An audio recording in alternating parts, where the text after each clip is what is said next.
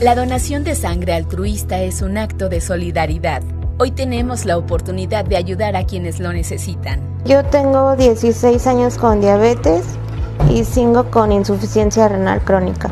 El beneficio que yo recibí eh, fue que me pudieron operar rápidamente y restablecerme pronto. Soy un, donador voluntario, nunca había venido a donar aquí, me he sorprendido lo ágil que han hecho el, poder donar, ¿no? O sea, es, a mí me sorprendió que cada vez este, el personal que nos atiende para donar es muy eficiente. Este 14 de junio se celebra en todo el mundo el Día mundial del donador, sobre todo aquel donador altruista o voluntario.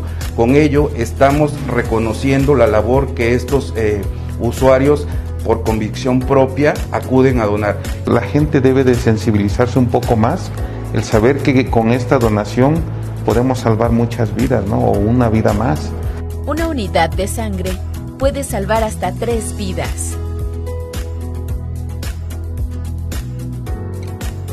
Después de un mes de eh, haber presentado signos y síntomas de COVID-19 pueden acudir a donar sin ningún problema.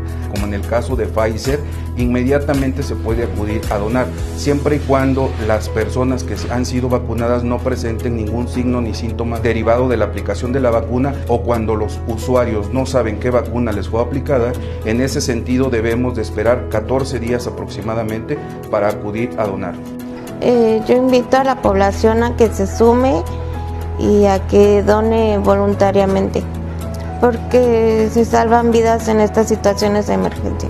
Para más información, llama al Centro Estatal de Transfusión Sanguínea, CETS, 777-311-2206. Morelos, anfitrión del mundo.